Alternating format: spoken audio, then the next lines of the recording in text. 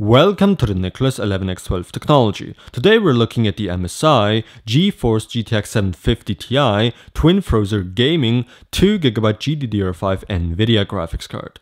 In terms of pricing, this card lies somewhere in between AMD's R7 260X and R7 265. In this review, we'll see how it stacks up against the competition. I know I'm a bit late to review this card, but better late than never. Before I move on, I'd like to thank a true subscriber and fan of mine named Uriel for lending me his card to review. He takes care of all the shipping costs. Thank you so much Uriel for making it possible for me to review this card completely free of charge. I really appreciate it. In the box is the quick user's guide, the driver CD, a note for MSI's hybrid BIOS introduction, and of course the graphics card itself. The MSI GTX 750 Ti has 2GB of GDDR5 video memory and uses the GM107 GPU, which belongs to the new Maxwell architecture. The core clock is 1085 MHz, the boost clock 1163 MHz, and the memory clock 1350 MHz. The TDP is at more than 60 watts and the GPU of course is manufactured on the 28nm process. The bus width would be 128-bit and the DirectX 11.2 API supported. The MSI GTX 750 Ti is a pretty good looking card for its price in my opinion. However, it comes with a plastic shroud and that disappointed me a little bit because I expected to see metal here. But of course you also have to understand MSI, they want to keep the cost down in this performance class. This is the Twin Frozr version of the card, which obviously means the famous Twin Frozr cooler is used here to cool the card down. As always, we get to see MSI's propeller blade fans. A pretty big aluminum heatsink is used with two heat pipes that are on the other side. And as you've probably already noticed, this card doesn't require any additional power connections. It's all powered from the PCI Express slot. However, this could be a disadvantage when it comes to overclocking. Also another thing I should probably point out, there's a small BIOS switch right there. This is where MSI's new hybrid BIOS feature comes in. You can switch between the legacy BIOS, that's the traditional GPU BIOS, and the hybrid BIOS. The hybrid BIOS supports the motherboard's UEFI BIOS and is compatible with UEFI and the legacy BIOS. On default, MSI sets the switch to position number 2, which is hybrid BIOS. A lovely matte black PCB is used here.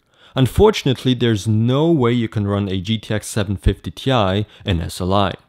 As for the outputs, there's one DVI, one VGA, and last but not least, one HDMI output. This graphics card is about 22 centimeters long and should therefore fit into most cases without any problems. But now let's move on to the benchmarks.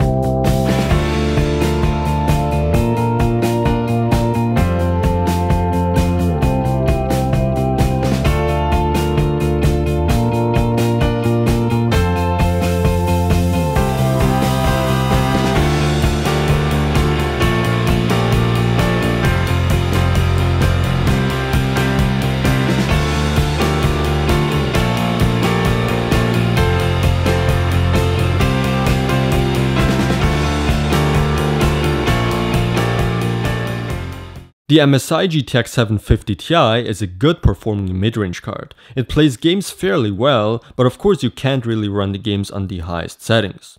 In terms of pricing, it lies somewhere in between AMD's R7 260X and R7 265. And same thing for the performance. I don't really know what to say here, it's simply another card you can choose from. The GTX 750 Ti isn't really targeted at a specific card from the competition, it's just a different card that fills a performance and price gap. The temperatures are super low, and I really mean super low, and the fans are extremely quiet I have to say. As for power consumption, I'd say there isn't that much of a difference compared to AMD's cards, but Nvidia won here with a slightly better performance per watt ratio. In terms of aesthetics, it's a good looking card. I'd definitely recommend the MSI GeForce GTX 750 Ti Twin Frozr Gaming 2GB GDDR5 graphics card. Once again, huge thanks to Derrial for lending me his card and therefore making this review possible. Thanks for watching, don't forget to subscribe and visit nicolas11x12techx.com to see videos there earlier than on YouTube.